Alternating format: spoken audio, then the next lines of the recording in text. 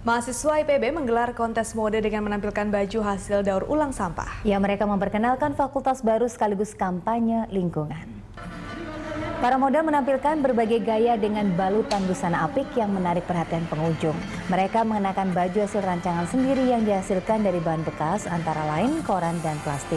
Selain untuk memperkenalkan Fakultas Ekologi Manusia atau FEMA, kegiatan ini juga dilakukan sebagai bentuk kampanye lingkungan. Mahasiswa mengingatkan pentingnya memelihara lingkungan dengan memanfaatkan daur ulang sampah.